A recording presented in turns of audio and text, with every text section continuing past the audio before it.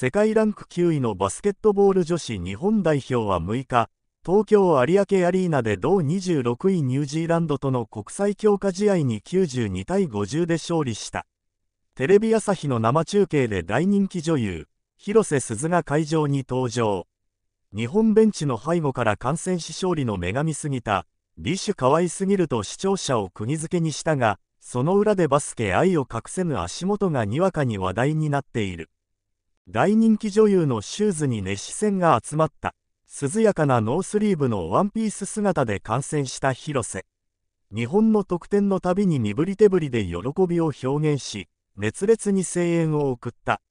試合後はコート上に現れ、日本代表の選手たちと記念撮影したが、その際に注目されたのが足元だ。スカートから覗く靴はバスケットシューズを着用。日本カラーの白赤のエアジョーダンシリーズと見られ、バスケファンは見逃さなかった。バッシュでバスケ観戦は好感度上がるね。AJ11 ジャパンカラーのバッシュだし、全力応援してるし交換しかない。白×赤のエアジョーダンはなかなかいい色だね。ネット上には指摘する声が相次ぎ、隠せぬバスケ愛に好感度が上がった様子だ。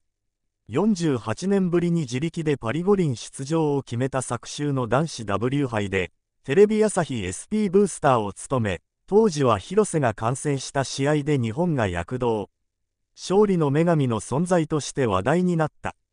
今日7日もテレビ朝日で生中継する男子日本代表の強化試合、韓国戦にも出演する広瀬。